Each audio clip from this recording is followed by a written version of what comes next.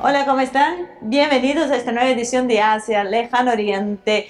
Hoy vamos a traer un tema que muchos hablamos, que fuimos uno de los pioneros en hablar de, de este gigante asiático que es China, ¿no? Allá por el año 2008 cuando eh, todos lo consideraban ainda, ainda, me salió el portuñol de adentro, pero que todos consideraban que era este país emergente, dónde iba a parar, qué buscaba China. Bueno, hoy más o menos podemos eh, descifrar eh, qué es lo que está haciendo este gigante asiático y para eso invitamos a, a Lucía Fernández, una joven politóloga, investigadora, quien nos va a poner en contexto de lo que está sucediendo eh, con la sociedad china dentro de todo este desarrollo económico y social de los últimos años. Y como siempre, para ponerlos en contexto del programa, Morena Ramírez viene con su pequeño informe, pero cada semana un poquito mejor. Así que More, te escuchamos.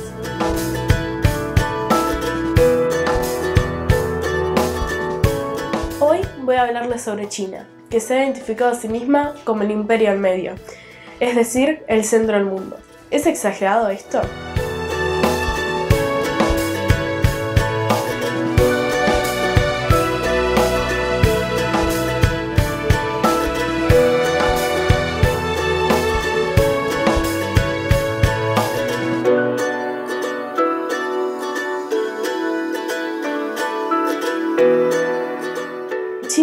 Durante miles de años la responsable de aproximadamente la mitad de la producción del mundo y solo ha perdido espacio en los últimos tres o cuatro siglos, donde ha sufrido una decadencia que hoy ha revertido para volver a ser lo que fue la mayor parte de su historia. Ese periodo, una pausa histórica, según afirman los chinos, constituye una humillación en su rica y larga historia. Para volver con su antiguo esplendor, China cuenta con la mayor población mundial, y aunque su centro lo va a perder en pocos años más con la India y una economía pujante. China, que paulativamente ha conseguido reunificar su territorio volviendo a controlar los enclaves extranjeros como Macao o Hong Kong, va por la isla de Taiwán, a quien consideran una provincia rebelde que debe retornar al seno chino. China hoy es uno de los países con mayor desarrollo tecnológico, que al ser relativamente reciente este desarrollo, el país asiático cuenta con redes ferroviarias de alta velocidad equivalentes en volumen al resto del mundo sumado. China avanza firme y rápidamente aumenta su influencia sobre el resto del mundo. Las empresas chinas colocan servicios y productos en los cinco continentes. Definitivamente ha llegado para quedarse. Es clave, entonces, comprender cómo es su pueblo, cuál es su forma de pensar, sus valores y sus intereses. Así que esto es todo por hoy y los veo la semana que viene con un nuevo informe.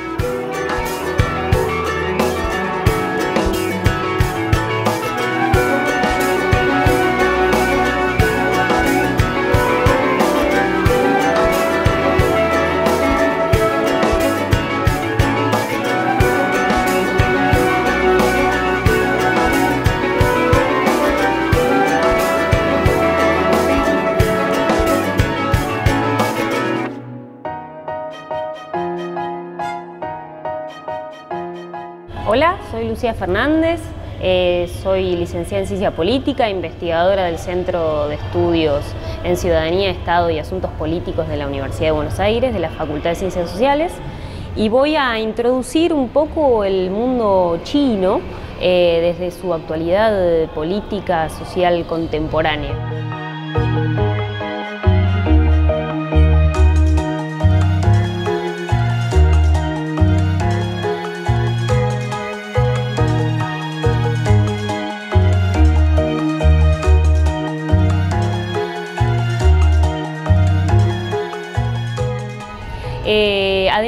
De, estudiar China desde la sociedad y la política, estudio bastante eh, desde hace mucho tiempo el idioma y me gusta introducir algunas palabras chinas para que uno pueda despojarse a la hora de abordar el análisis de, Oriente de algunos prejuicios que no sabemos que tenemos o que damos por sentados, ¿sí?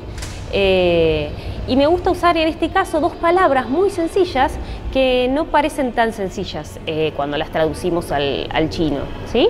Serían las palabras chien, que es la palabra enfrente o adelante, ¿sí? y además significa o se usa, los chinos la usan para hablar del pasado, ¿sí? O sea, adelante para hablar del pasado. Y en el caso de Hou, que es atrás, para hablar del futuro. Esto es medio como pareciera que me equivoqué o que es medio al revés. Sin embargo, no. Porque los chinos dicen que el, pasado está adelante, porque nosotros lo podemos ver, ¿sí? Y el, futuro está atrás, porque le damos la espalda. Entonces, una cosa tan sencilla como direcciones o posiciones y tal, eh, sin embargo, son, son distintas, son complejas. Eh, utilizar esta anécdota me gusta para posicionarnos desde una mirada un poco más despojada, ¿sí? con, menos, con menos prejuicios.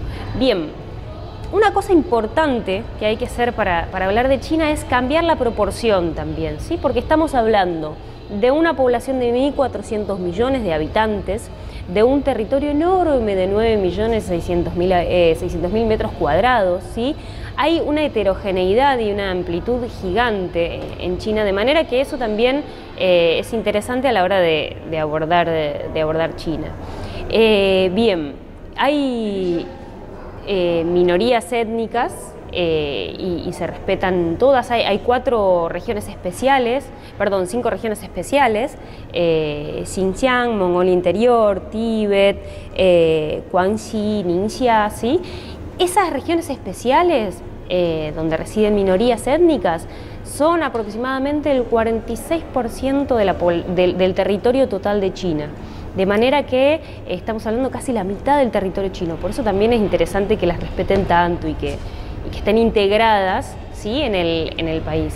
Para abordar lo que, está ocurriendo en China política, económicamente, ese gran crecimiento que estamos viendo ahora, me, gustaría abordarlo para, para, ordenarlo un poco desde tres ejes fundamentales, que serían crecimiento con desarrollo, la inserción de China en el mundo, que no es tan, tan antigua, y eh, por supuesto la competitividad de, China, que es muy, muy grande, muy impresionante también. En términos del crecimiento con desarrollo estamos hablando de eh, mejoras laborales, mejoras en la calidad de vida de la población, mejoras en la producción, ¿sí? Eso me, gustaría recomendar un libro muy interesante de Gustavo Girado, que es Cómo lo hicieron los chinos, donde explica eh, más específicamente en términos económicos la inserción de, China en la en las cadenas de, valor globales y demás. ¿sí? Pero bueno, estamos hablando de un crecimiento con desarrollo. ¿sí? aparte de eso, estamos hablando de China en el mundo, ¿sí? y el mundo en China. Esto que parece tan natural ocurre en China recién desde 1978. Ahora, en unos meses, se van a cumplir 40 eh, años de la apertura de, China. Eh, es bastante poco relativamente hablando y desde que ocurre eso hay muchos cambios hacia el interior de China, políticos, culturales, económicos, y hacia el exterior. Por supuesto que mm, no hay que, dejar en, segundo o tercer plano la localización geográfica, que sea tan grande, que tenga tantos recursos y que tenga cerca a Japón, a Hong Kong, a, Corea, ¿sí? es, es absolutamente determinante para su desarrollo y su crecimiento eh, actual. Hay que tenerlo muy en cuenta. Bien, y la, tercera cosa que me, interesaba contar, desde el, eje desde el que lo quiero abordar, sería la competitividad. ¿sí? Además de crecer con desarrollo y de insertarse en las cadenas del mundo, estamos hablando de un, un, país con una alta competitividad productiva, ¿sí? que para esto es muy clave tener en cuenta los planes quinquenales. En la actualidad Estamos hablando de los planes quinquenales 15, 16, ¿sí? Y, tiene que ver con una planificación precisa, exacta, a corto, mediano y largo plazo, por supuesto, y con metas específicas a nivel económico para eh, ser cada vez más competitivos en lo, que, en, lo, que se produce y en lo que se intercambia, ¿verdad? Entonces, estos tres ejes son mm, bastante claros para, para abordar el crecimiento y la actualidad china. Dijimos, crecimiento con desarrollo, eh, la inserción de China en el mundo y por supuesto del mundo en China, ¿no? ese, viceversa es muy interesante de ver. Desde el lado chino, en, la, implosión de, los chinos que viajan y vuelven o, del mundo en China, culturalmente, y eh, la competitividad en términos de, producción y, demás. Además de la, de la, heterogeneidad china y de la gran, de la gran población, Eh, en, este momento China se encuentra en, auge, ¿sí? Por, una particularidad que es el, liderazgo fuerte de uno de los más fuertes de los últimos años, que es el de Xi Jinping. Desde, desde el 49, desde Mao, eh, que fue sucedido por Deng Xiaoping, un líder también carismático y fuerte. Eh, después tenemos en el medio a Jiang Zemin, a Hu Jintao. Xi Jinping introduce en, su discurso y en, la actualidad del mundo la idea del sueño chino. ¿sí? ¿Qué es el sueño chino? Es esta idea de devolver a China al lugar grande donde ya pertenecía. ¿sí? Eh, devolverla a, al gran, a la gran potencia que ya era hace algunos años.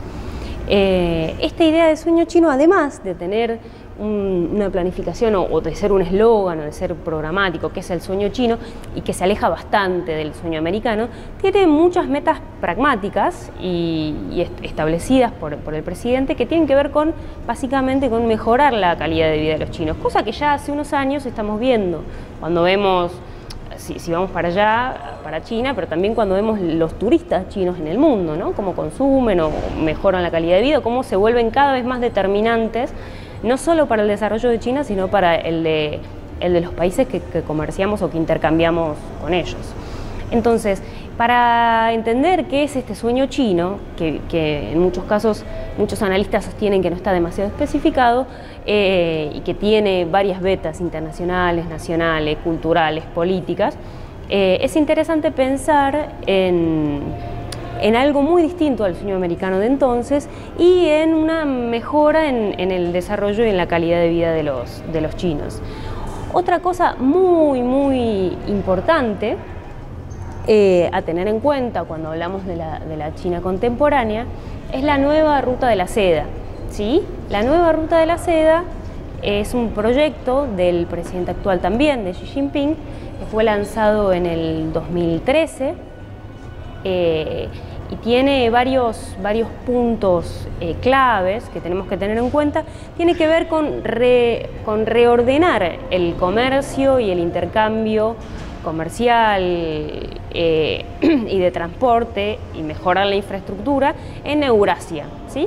La idea es que posteriormente se, eh, se, siga estirando, se siga alejando América, Norteamérica, Sudamérica, todavía no se sabe bien cómo va a llegar América, pero la idea es que, es que también llegue, pero en principio Europa y, y reconectar Europa y Asia. ¿sí? Es un plan de de infraestructura y de transporte que tiene una vía marítima por el sur, una vía terrestre o varias vías en realidad ensayadas. Y eh, la Ruta de la Seda tiene unos proyectos y unas propuestas bastante ambiciosas y muchas ya se han llevado a cabo, que tienen que ver con reducir los montos de transporte por barco, por tren, para agilizar el comercio y también eh, reconectar, como decíamos, política, social, culturalmente, toda la, toda la región. Esto tiene que ver con eh, redefinir las relaciones comerciales del mundo, pero también con abrirle o, nuevas, eh, darle lugar a las nuevas capacidades chinas ¿sí? para expandirse hacia afuera. ¿sí? Entonces están construyendo eh, trenes y, un montón de, de distinto tipo de, infraestructura en otros países limítrofes con este fin. Eh, para entender un poco la, sociedad y la política actual desde adentro, desde adentro de China, es preciso tener en cuenta una particularidad muy interesante, muy china, que tiene que ver con el Estado y el Partido, y el partido Comunista Chino. ¿sí? Ambos se entrecruzan todo el tiempo, se solapan todo el tiempo. Incluso las mismas personas están en una y otra institución. ¿sí?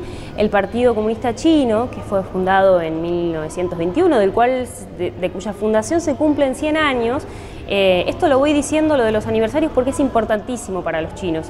Eh, les importan mucho las cábalas y, los números y se cumplen en, poquitos años 100 años de la fundación del partido. Bien, el partido domina la vida política, la vida política china. Estamos hablando en una población de 1.400 millones de habitantes de apenas eh, simplemente 80 millones de miembros, de los cuales se van eh, se van filtrando cada vez más y en el Congreso Nacional quedan 2.300 aproximadamente, de los cuales gobiernan unos 7, 8, 8 chinos.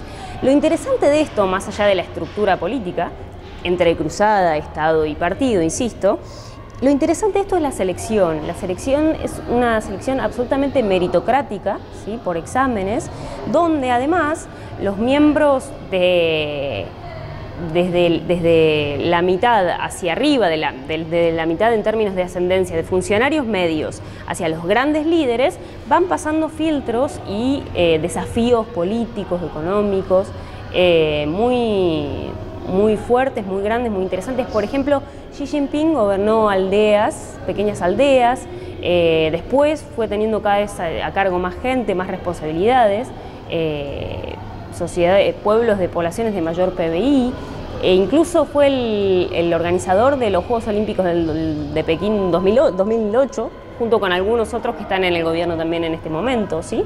Entonces es absolutamente meritocrática, el, partido funciona, eh, selecciona los cuadros y los va poniendo a prueba de alguna manera, también encuesta a sus poblaciones a ver cómo fue su rendimiento y demás. De manera que de 80 millones, quedan 900.000, luego 600.000, luego 40.000 y así van llegando los, los líderes a la cúpula. ¿sí? Es muy interesante esto de lo meritocrático porque por ahí nos suena, suena lejano o distinto y es una, gran particularidad. No es una vida política donde todos participen y ni, donde sea de esta manera.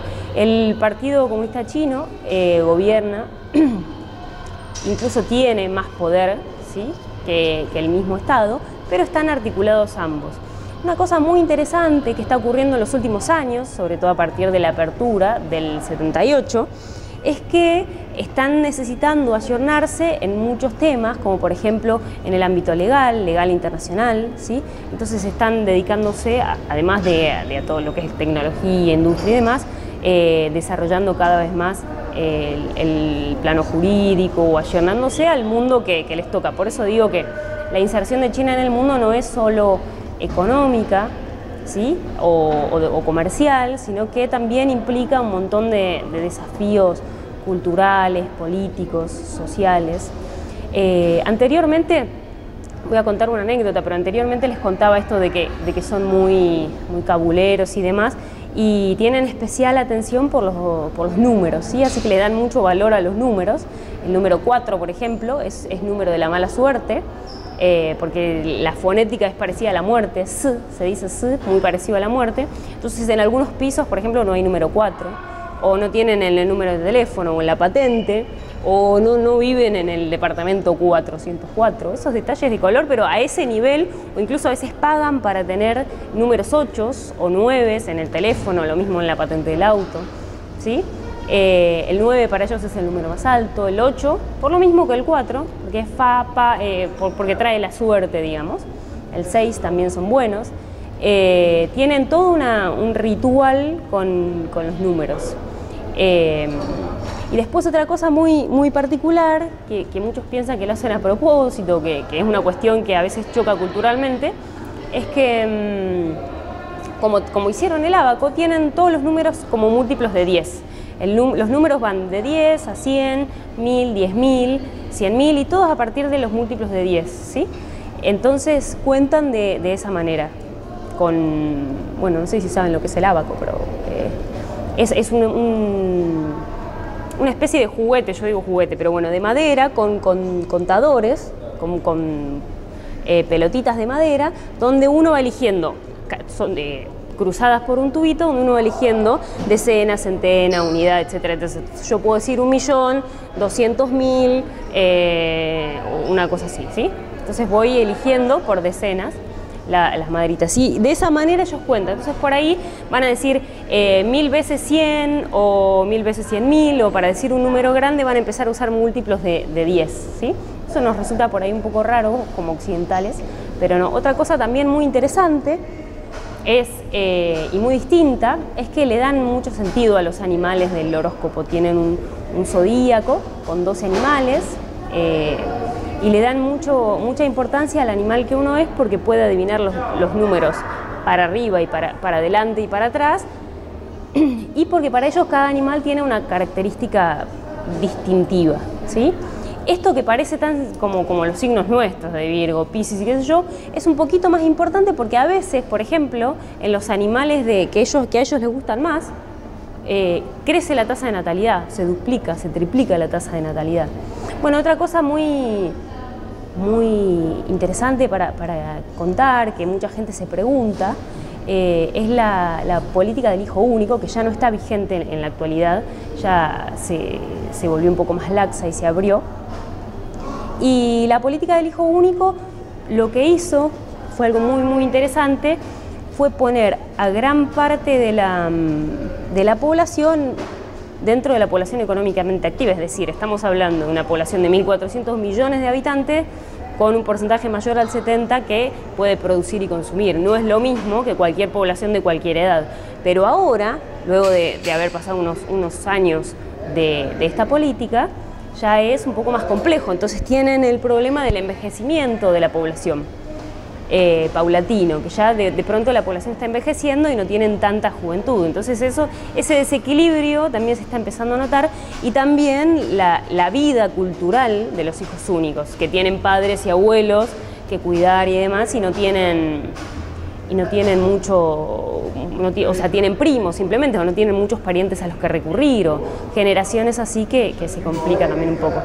Esto también es interesante de ver, los chinos ven sus propios problemas, eh, el tema de la contaminación, este tema del envejecimiento, ellos mismos los cuentan, desde la población que uno se encuentra día a día hasta, hasta en, la en universidades y demás se charlan este tipo de temas. Eh, en general eh, tratan de que uno pueda ayudarlos o, darles nuestras propias perspectivas occidentales y, lo que puedan sumar, lo bien vienen. Y otra cosa en este sentido que me gustaría marcar es que hay miles de fuentes chinas, en español, en inglés, porque uno tiende a pensar que porque es China y está en chino y es lejos, eh, es más complejo, es relativo eso. Eh, hay muchas fuentes oficiales que está bien cotejar, porque alguna puede, puede, haber, puede, puede hacer falta cotejarlas con inglesas, estadounidenses, francesas, está bien, pero hay muchas fuentes como Xinhua eh, o todas las, las, entidades de gobierno tienen cifras y estadísticas con el dominio de, de CN al final, eh, del gobierno chino, que a veces están interesantes para, para buscar datos actuales y demás, y que, y que no están ni falseadas ni mienten, en muchos casos son bastante buenas fuentes y muy interesantes, para enterarnos desde allí, desde yo es lo que recomiendo siempre que podamos, más que mirarlo desde acá y leído por un francés, un inglés y qué sé yo, o, traducido tres o cuatro veces, tratar de recurrir a las fuentes chinas o, incluso preguntarles a ellos mismos eh, de qué manera lo ven y acercarnos un poquito desde, desde su mirada. Bueno, eh, espero más que haberles explicado, haberles despertado algunos interrogantes y, y muchas gracias por, por este rato. Que estén bien.